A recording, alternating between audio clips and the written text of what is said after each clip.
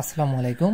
এই ভিডিওটিতে আমি দেখব, আমরা দেখব একটি সরু সুষম দণ্ডের দৈর্ঘ্যের সাথে আলফা কোণে মধ্যবিন্দু দিয়ে গমনকারী অক্ষের সাপেক্ষে জড়তার ভ্রামক মানে এর আগে আমরা যেগুলো করেছিলাম, সেগুলোতে আমাদের অক্ষের সাথে যে সরু দণ্ডটা ছিল, সেটার কোণ ছিল নাইনটি ডিগ্রি অ্যাঙ্গেলে, ঠিক আছে? এখানে নাইনটি ডিগ্রি অ্যাঙ্গেলে ছিল। তো এবার আসলে নাইনটি ডিগ্রি অ্যাঙ্গেলে নাই, একটা কোণে আছে, আলফা কোণে আছে। তো এটার সাপেক্ষে এখন এইদিকে কী করতেছে, এটা ঘুরতেছে। তো এখন এইটা জড়তার ভ্রামক আমাকে বের করতে হবে। এর আগে ছিল লম্বভাবে, এবার লম্বভাবে না, একটু অ্যাঙ্গেল করে আছে। তো দেখতে কীরকম হবে আসলে? আগে ছিল এই যেইভাবে একটা সরুদণ্ড, এই যে এইভাবে ঘুরতেছে, ঠিক আছে? চারদিকে। আর এবার ঘুরবে একটু, এই যে এখান থেকে সোজা ছিল আগে নাইনটি ডিগ্রি এবার এইভাবে হলো বাঁকা। বাঁকা হওয়ার পর এইভাবে, তো এইভাবে এইভাবে ঘুরবে, ঠিক আছে? তো আমি একটা একটু ইয়ে দিই, করার চেষ্টা করে দেখি। এইটা হচ্ছিল অক্ষ, এই নীল কালারের কলমটা হলো কত অক্ষ, আর এটা হলো আমাদের সরুদণ্ড। তো আগে ছিল এইরকম। এইভাবে ছিল মানে এইভাবে। তো এটা এই যে এইভাবে ঘুরতেছিল। এটা কি ছিল তাহলে? দেখো তো, এর সাথে কোন কত ডিগ্রি? এখানে কোন ছিল নাইনটি ডিগ্রি অ্যাঙ্গেলে ছিল নাইনটি ডিগ্রি অ্যাঙ্গেল এবার আসলে নাইনটি ডিগ্রি না, এবার এইভাবে থাকবে একটু। বাঁকা হয়ে গেল। এখানে কত ডিগ্রি কোণে আছে? একটা আলফা, অন্য একটা কোণে। তাহলে সেটার সাপেক্ষে ঘুরবে কীরকম এইভাবে এইভাবে ঘুরবে। ঠিক আছে? একটু ধরতে সমস্যা হচ্ছে এখান থেকে, সেটা তোমরা একটু বুঝে নিও। এইভাবে ঘুরবে, ঠিক আছে? তার মানে আগে এইভাবে যেটা নাইনটি ডিগ্রি অ্যাঙ্গেলে ঘুরতে এবার নাইনটি ডিগ্রি অ্যাঙ্গেলে না, একটু অ্যাঙ্গেল করে ঘুরবে। তো এটা সাপেক্ষে এখন জড়তার ভ্রামকটা বের করতে হবে। তো প্রসিডিউরটা এটা যেভাবে আমরা করছিলাম, এটা যেভাবে করছিলাম প্রসিডিউরটা পোটা মোটামুটি প্রায় সেম শুধু একটু চেঞ্জ আছে, সে একটু চেঞ্জটা হলো আমাদের এই আলফাটা। এই আলফাটার কাজ আমাকে করতে হবে। আলফাটার জন্য কি করব? আমরা এই আলফাটা দিয়ে জন্য আমাদের কোনটা আসছে, সেটা কারণে আমাদের দূরত্বটা চেঞ্জ হয়ে যাচ্ছে। তো দেখো, আমাদের গতবার এইখানে যদি আমি যে এক্সিস্ট বা ক্ষুদ্র একটা স্লট কেটে নিয়েছিলাম, সে স্লটটা কীভাবে ঘুরতো? এই দিকে চারদিকে ঘুরতেছিল মানে এই যে এইভাবে এইভাবে ঘুরতেছিল, তাই না? তো এখান থেকে এই ডিস্টেন্সটা অল টাইমে নাইনটি ডিগ্রি ছিল। তো যাই হোক, এবার এটার ক্ষেত্রে আমাদের এই স্লটটা ঘুরবে এই বরাবর। এই দিক দিয়ে যাবে। ঠিক আছে? এইটা বৃত্তাকার পথে, এই দেখো এই হেডটা কোন দিকে ঘুরতেছে, এইভাবে। যদি হেডটা যদি আমাদের এই দেখো এখানে নিলাম, এইভাবে ঘুরতেছে। তাহলে হেডটা যদি আমাদের ক্ষুদ্র স্লট হয়, তাহলে একটা ক্ষুদ্র স্লট বরাবর সেটা কীভাবে রোটেট করতেছে? ঠিক আছে? এই ব্যাসার্ধ।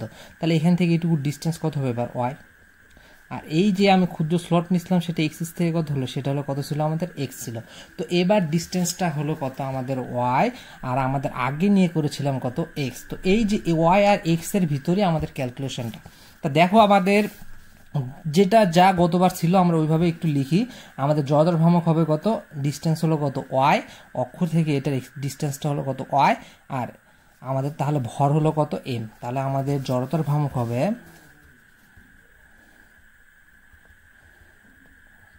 জড়তার ভ্রামক। তাহলে জড়তার ভ্রামক আমরা ডিআই দ্বারা যদি প্রকাশ করি ডিআই ভর হলো কত আমাদের এম আর ডিস্টেন্স ডিস্টেন্সটা হলো কত ওয়াই ঠিক আছে? এটাকে, আমাদের এটাকে কি করতে হবে? ইন্টিগ্রেট করতে হবে। ইন্টিগ্রেশন আমরা একটু পরে যাচ্ছি। তার আগে আমাদের আগে কিন্তু ওয়াই সম্পর্কে আগে জানতে হবে। ওয়াইটা হলো কত ডিস্টেন্স এখান থেকে এটা। ঠিক আছে? তো এখন হলো কত, আমাদের লিমিটটা আমি এখন যখন নিব লিমিট আমরা বের করব কত? শুরু দণ্ডের। আবার ওয়াই হলো আমাদের এই আপ ডাউন উপরে নিচে, এটার জন্য একটা ওয়াই, এখানে যদি একটা নেই তাহলে এখানে একটা ওয়াই, এখানে একটা ওয়াই। তো এর আগে নিচ্ছিলাম আমরা এক্স এই বরাবর, এবার নিচ্ছে হলো ওয়াই এই দিকে যাচ্ছে ওপর নিচে। তো ওপর নিচের সাথে তো আমাদের কোনো সম্পর্ক নাই, আমাদের সম্পর্কটা কি? এই বরাবর। তার মানে ওয়াইকে কনভার্ট করে যে করে কনভার্ট করে আমাদের কত? এক্সে নিয়ে আসতে হবে, ঠিক আছে? তাহলে দেখি আমরা কীভাবে নিয়ে আসা যায়। তো দেখো এখান থেকে এটাই দিকে, আর এটা হলো কত? শুরুদণ্ড এই মধ্যবর্তী কোণ কত? আলফা। এটা হলো কত ডিস্টেন্স ক্ষুদ্র স্লটটা আমি এখানে ধরলাম, এটা হলো কত ডিস্টেন্স ওয়াই আর এখান থেকে এই ডিস্টেন্স হলো কত এক্স তাহলে এখানে একটা সমকোণী ত্রিভুজ তৈরি হয়, যার ভিতরে একটা সম্পর্ক পাওয়া যায়, এটা হলো কত ভূমি। যার সাথে কোন নিব সেটা সবসময় ভূমি। এটা হলো ভূমি, এটা হলো লম্ব, এটা হলো অতিভুজ। তাহলে আমাদের সাইনের সম্পর্ক থেকে আমরা কি জানি? সাইন ইজ ইজিকালস টু লম্বভাগ অতিভুজ। তাহলে এখান থেকে ওয়াই ইজিকালস টু লিখতে পারি কত? এক্স সাইন আলফা তাহলে আসো আমরা যদি এখন ওয়াইয়ের ভ্যালু কত? এক্স সাইন আলফা যদি আমরা এখানে বসাই। X sine alpha whole square তাহলে এখান থেকে আমাদের দেখো x square DM sine alpha sine square alpha তাহলে ডিআই আমাদের যে আগের যে ইকুয়েশন ছিল, সেটাতে ছিল কত? এক্স স্কোয়ার ডিএম সাইন আলফাটা এবার শুধু জাস্ট এক্সট্রা আসছে। কেন আসছে? যেহেতু এবার আমাদের এক্সিসটা ninety degree sine ninety degree মান কিন্তু ছিল ওয়ান কিন্তু এবার সাইন নাইনটি না থাকার কারণে, কোনটা নব্বই ডিগ্রি না থাকার কারণে, অন্য কোনো অ্যাঙ্গেল থাকার কারণে আমাদেরকে এই সাইন আলফাটা আসছে। তাহলে এখন আমাদের আসলে ইন্ডিকেশন করব। ইন্ডিকেশন কত থেকে কত? আমাদের এই পাশে বাম পাশে ছিল কত? এই পাশের জন্য মাইনাস এল বাই টু শেষ করছিলাম কত? এল বাই টুতে ওই সেম প্রসিডিউর তাহলে আমাদের এখান থেকে তাহলে ইন্টিগ্রেশন করি। মাইনাস এল বাই টু থেকে কততে করব? এল বাই টু আর এই পাশে আসবে আমাদের কত? জিরো থেকে আয় তো আমাদের ডিএম লাগবে। ডিএম আমরা কীভাবে বের করছিলাম? মৌখিক নিয়মের মতো এল দৈর্ঘ্যের ভরের মানে এল যে পুরা দ্বন্দ্বটার ভর দৈর্ঘ্য ছিল কত? এল তার মাঝখান দিয়ে গেছে এই জন্য এল বাই টু এই পাশে গেছে সেই জন্য কত? মাইনাস এল বাই টু যেহেতু বাম পাশে আসে সেই জন্য minus L by two L দৈর্ঘ্যের ভর হলো এম অতএব এক দৈর্ঘ্যের ভর হলো কত? এম বাই এল অতএব ডিএক্স পরিমাণ যে যতটুকু ক্ষুদ্র স্লট সেটা কত? ডিএক্স ডিএক্স পরিমাণ দৈর্ঘ্যের ভর হলো, আমরা তাহলে বের করে নিলাম, এটা হলো কত? ডিএম তাহলে ডিএম এর মানটা এখন যদি এখানে বসাই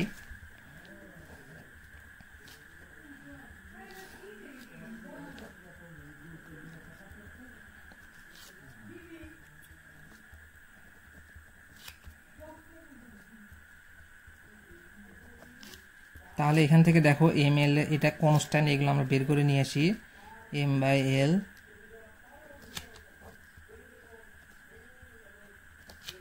M by এত, ঠিক আছে? তাহলে এখান থেকে থাকে শুধু এক্স স্কোয়ার ডিএক্স পুরাপুরি আমাদের আগে যেটা আমরা করেছিলাম, অক্ষর মাঝখান দিয়ে যেভাবে করেছিলাম, এই অঙ্কটা তো পুরাপুরি সেম ঠিক আছে? আমাদের হলো জাস্ট এক্সট্রা খালি এই সাইন আলফাটা আসছে। কেন সাইন আলফাটা আসছে? কারণ এবার আলফা কোণে সে ঘূর্ণনশীল, এই জন্য সাইন আলফাটা আসছে। তাহলে এখানে আমরা ইন্টিগ্রেশন করে ফেলে ইন্টিগ্রেশন করে দেখি আমাদের ফাইনাল অ্যান্সারটা কত আসে রেজাল্টটা তাহলে এটাকে ইন্টিগ্রেশন করলে আমাদের এখানে ইন্টিগ্রেশন এটাকে যদি করি, তাহলে আসে I upper limit lower limit M L sine square alpha এটাকে করলে এক্স কিউব ভাগ হলো থ্রি এল বাই টু আর এখান থেকে থাকবে আমাদের সাইন স্কোয়ার আলফা ঠিক আছে? আচ্ছা তাহলে এখান থেকে upper limit minus lower limit ওইখানে সাইন স্কোয়ার আলফাটা লিখে ফেলছি আগে।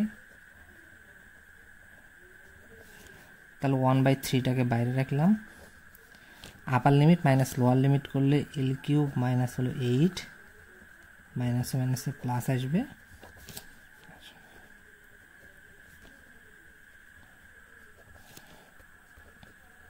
এখান থেকে আসে হলো টু এল কিউ ভাগ হলো এইট এখান থেকে ফোর এইখান থেকে একটা এল কাটা গেলে থাকে হলো এল স্কোয়ার তাহলে এইটা এটা গুণ করলে বারো। One by twelve M L square sine square alpha তাহলে ফাইনালি এটা। তাহলে ফাইনালি আমাদের জড়তার ভ্রমক বের হলো কত? I is equals to 1 by 12 m l square sin তো অক্ষের সাপেক্ষে যদি আমরা আলফা কোণে থাকে, তাহলে সেটার জন্য আমরা যত ভ্রমক ফাইনালি পাইছিলাম কত? I is equals to one by twelve M L square sine square alpha তো এটা পাইছি। তো এটা আসলে প্রমাণ করেও করা যায় ডিরেক্টলিও করা যায়। দেখো আমাদের একটু দেখি আমরা এখানে আমাদের যখন এরকম একটা দণ্ড ছিল, তখন অক্ষের সাপেক্ষে কোণ ছিল কত? Ninety degree. তাহলে আমাদের I equals to one by twelve M L square ছিল, সূত্রটা এটা ছিল। তো এবার আমাদের এক্সিসটা চেঞ্জ হয়ে কত হয়ে গেছে? এরকম দণ্ডটা ছিল আমাদের এইরকম ঠিক আছে? তাহলে একটা কোণ আসছে এখান থেকে, ঠিক তো এই পাশে আমাদের কত? এল বাই টু এই পাশে কত আসে? এল বাই টু তো আমরা দেখো, এভাবে নিয়ে করি। এখান থেকে যেহেতু ডিস্টেন্স আমরা এই এক্সিসের সাপেক্ষে, ঘূর্ণন এক্সিসের সাপেক্ষে ডিস্টেন্সটা নিয়েছিলাম ওয়াই তাহলে আমাদের এটার কটা উপাংশ থাকে? এখানে যদি একটা কোণ হয়ে থাকে, তাহলে সেটা কটা উপাংশ থাকবে? এটা দুটো উপাংশ থাকবে। একটা হলো অনুভূমিক উপাংশ, একটা হলো কত উলম্ব উপাংশ। তো যেহেতু এখানে আমাদের কি কাজ করতেছে, এইটা যেহেতু কোণ আছে, কোণ থাকলে সেটা কি হবে? সবসময় ভূমি হবে। তার মানে এই বরাবর কত? অনুভূমিক উপাংশ। এবং এই বরাবর উলম্ব উপাংশ থাকবে, ঠিক আছে? তাহলে এটা হলো অতিভুজ, এটা হলো তাহলে হচ্ছে তার ভূমি, আর এটা হলো কত? তার লম্ব। তাহলে আমাদের এইটুকুর মান আমরা যদি প্রজেকশন বা উপাংশ সূত্র অনুযায়ী লিখতে চাই, তাহলে এই পাশে হবে L by two sine alpha ঠিক আছে? অনেকে অবশ্য কনফিউশন থাকতে পারে। এই যেমন যদি থাকে, এখানে যদি একটা কোণ দেওয়া হয় আলফা আর এটার মান হলো কত? এল বাই টু তাহলে এটা দুটো উপাংশ থাকবে, ঠিক আছে? উপাংশকে আমি একটু তীর চিহ্ন দ্বারা প্রকাশ করে দিই, তাহলে আর একটু ভালো বোঝা যাবে। কারণ আমরা সবসময় বলের উপাংশ করছি আর সেখানে সবসময় চিহ্ন দেওয়া থাকে। তাহলে দেখো আমাদের এটা কী হবে? যেটার সাথে কোন থাকবে সেটা সবসময় ভূমি। ভূমি হলে L by two cos alpha আর লম্ব হলে কত হবে? L by two sine alpha ঠিক আছে? তাহলে আমাদের এটা নিলাম। অনুরূপভাবে এই পাশেরটার জন্য যদি আমরা নেই কোন তাহলে তাহলে এইটা কোন বিপ্রতীপ কোণ যদি নিতে চাই, তাহলে বিপ্রতীপ কোণ করলে কোনটা হবে? এই পাশেরটা বিপ্রতীপ কোণ, ঠিক আছে? আলফা তাহলে এটা হলো ভূমি ভূমি, আর এটা হলো কি হবে? আমাদের এই পাশে, এই যে এটা কি হবে? এই পাশে একটা উপাংশ, এইদিকে একটা উপাংশ। এটার নাম হবে তাহলে কত? যেহেতু এটা ভূমি, তার মানে এটা অনুভূমিক উপাংশ। আর এটা হলো কত? লম্ব, তার মানে এটা কি হবে? L by two sine alpha তাহলে আমাদের ফাইনাল দৈর্ঘ্যটা আমাদের ছিল কত? এই বরাবর। সেটা লম্ব উপাংশ নিয়ে আমরা ফাইনাল দৈর্ঘ্যটা পাচ্ছি এ পাশে এল বাই টু এ পাশে L by two sine alpha তাহলে আমাদের যে সূত্রটা ছিল I equals to one by twelve M L square এবার এল এর মান কত হবে? L by two sine alpha L by two sine alpha মানে এল এর বদলে এখন আমরা লিখতে পারব L sine alpha whole square তাহলে আমাদের ফাইনাল যে ইকুয়েশনটা দাঁড়াবে, এই যেটা ঠিক তো এটা ডিরেক্টলি আমার প্রমাণ করেও করা যায়, আর এখান থেকে যদি আমরা উপাংশ নিয়ে করতে চাই, তাহলেও এখান থেকে করা যাবে আমাদের।